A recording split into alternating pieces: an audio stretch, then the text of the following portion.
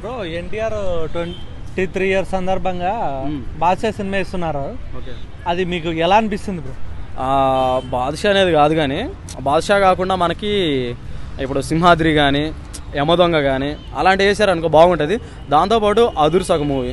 ఈ మూడిట్లో ఏది ఇచ్చినా కూడా ఎక్సలెంట్గా ఉంటుంది. కానీ బాదుషా మాత్రం వద్దని మేము అయితే రిక్వెస్ట్ చేస్తున్నాం అందుకోసం. ఎందువల్ల అనుకుంటున్నాను బ్రో ఎందువల్ల అంటే బాదుషాలో అంత ఇదిగా అయితే ఏమీ ఉండదు. ఆ ఫస్ట్ హాఫ్ కానీ ఆ సెకండ్ హాఫ్లో కొంచెం కామెడీ ఉంటుంది.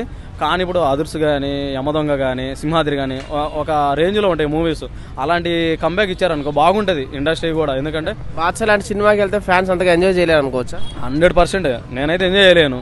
అదే సింహాద్రిను చెప్పే కదా ఇలాంటి అనుకో కామెడీ ఉంటుంది ఎమోషనల్ ఉంటుంది దాంతోపాటు మనకి ఫైట్లు ఉంటాయి కదా ఫైట్ సీన్స్ మొత్తం ఉంటాయి. సో అలాంటప్పుడు సింహాద్రి సింహాద్రి అయితే సూపర్ ఉంటుంది. మరి బాద్షా వేయటం వరకు అసలు వేరే ఏమైనా అర్థాలు ఉన్నాయనుకోవచ్చు అర్థాలు ఏం లేవు కానీ బాదుషా వద్దని మేము అనుకుంటాం అంతే ఫ్యాన్స్ పరంగా. అదే.